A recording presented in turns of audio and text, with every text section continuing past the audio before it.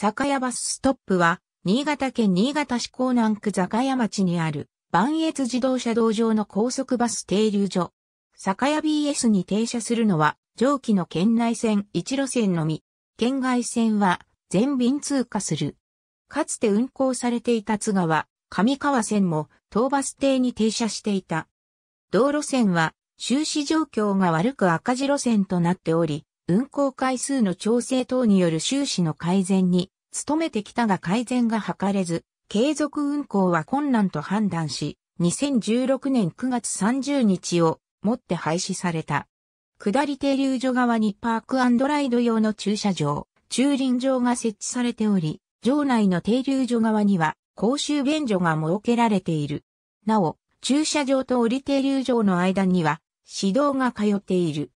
酒屋 BS 前の指導を磐越道に沿って南下した先、新潟県道220号白根亀田線との交差点付近に、新潟交通の一般路線バス、S 級亀田、横越線の停留所がある。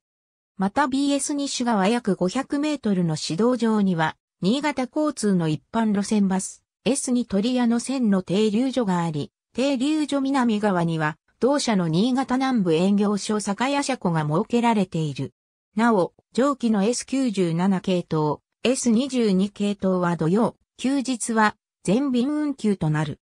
また、旧坂や小学校校舎からさらに約100メートル西の新潟県道1号新潟コスド3乗線上には鳥屋の線 S23 系統の花の木バス停があり、この系統は土曜、休日も運行されている。ただし、周辺の徒歩経路はやや煩雑であるため注意。ありがとうございます。